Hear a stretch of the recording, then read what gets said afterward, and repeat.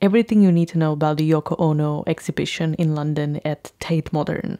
Music of the Mind what to expect and what to prepare. And by prepare, I mean, yes, it's a very interactive exhibition. You're going to have your chance to create your own input and then also see other people's inputs. And I find this incredibly important and great and moving, actually. First of all, how can you get there? Tate Modern is next to Millennium Bridge and Shakespeare's Globe. The closest underground station is Blackfriars. The exhibition is at Blavatnik building and you can get there from any entrance. So whether it's from front, back, side, just follow the signs. Okay, I went on Saturday 12 p.m. and I was kind of wondering like how busy it's going to be. I didn't want it to be super busy because I wanted to enjoy it obviously. So I didn't want to go earlier, but even surprisingly at 12 um, the place was not super crowded. So obviously there were some people, but it was not overcrowded at all. So it's actually a perfect time. If you want to have your time in terms of really enjoy it very quietly, just go right when they open, whether it's 9 or 10, I'm not sure. And or you can go during the week, which I would assume it's a little bit less busy. If you don't want to fly through the exhibition, I mean, it costs 22 pounds, so you better enjoy it as much as you can. Basically, it took me one and a half an hour. My pace was kind of like probably medium, sometimes small. It depends. Some of the artworks you spend more time on them.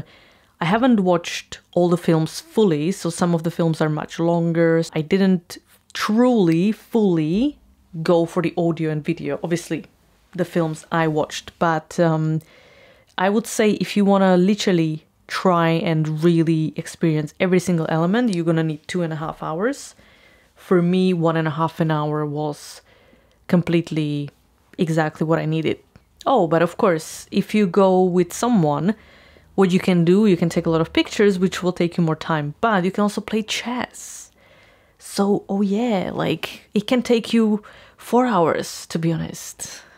There's plenty of opportunity to buy merchandise, okay? So, like books, posters, postcards, t shirts, anything like that on ev- in every single corner.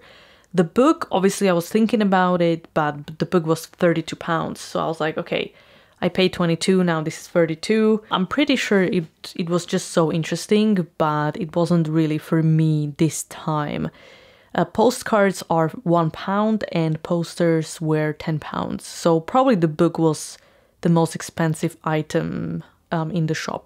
Okay, so the beginning of the exhibition is just, it's already like gets you, right? you walk in and there's artificial tree and you see the tags, you know, paper tags with writing on it, like hundreds of them. And there are two of those trees for now. And you can read other people's wishes. You can see like what others uh, they want, their deepest desires. And it's strangers, you know, but like you feel like it's part of you. It's basically like we are all the same, but we are in different stages of life. A lot of times I it kind of made me made me laugh. So one of them was like, I hope she texts me back. Teenager, I would assume. The point of the exhibition is the exact opposite of many people's goals. and maybe they got it in the end. Like maybe this helped them to understand because I have seen a lot of wishes which were basically like, I want to become famous designer. I want to be rich. I want to have money. Like, I want to have the house. Like, it was very materialistic and around money, right? Which the whole concept of the exhibition and Yoko Ono as, as an entity and brand is quite the opposite of that. So maybe some people came out of it as better people, you know? I don't know. It just made me, definitely made me laugh. You finally enter the exhibition and what you see is kind of like the intro writing. And the sentence that stood out for me there the only sound that exists to me is the sound of the mind. Yoko wants us to imagine. She wants you to imagine when you go and enter the exhibition. And she kind of helps you inspires you but she doesn't tell you what to think. She doesn't tell you what to do. It all is kind of like it just comes out naturally so every single person coming out of that exhibition took away something different. It's exactly like the music, like a song. A song means something else for for a different person. So then you go into another room and it's just kind of like a reminder of Yoko, you know, being born in Japan. And she was born in 1933, so she remembers the Second World War, the USA bombed Tokyo, and what helped her survive was knowing that the, the stars are up there and they will always be, and also like her imagination.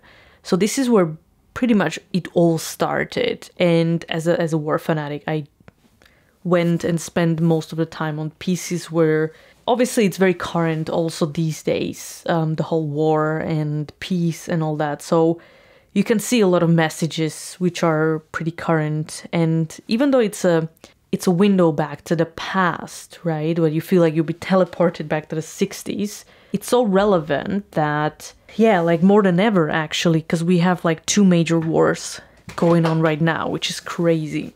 Yeah, I mean, I stopped at the Nazi helmets, Nazi soldiers' helmets. Kind of like the metaphor, like she mentions the stars in the sky, and the helmets were positioned as stars.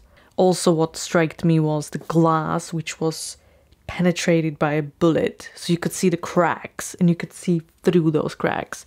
For John Lennon fans, of course, we have pictures of John Lennon together with their um, list of marriage, like how we call it, like um, and uh, pictures of them completely naked. They're also a short film.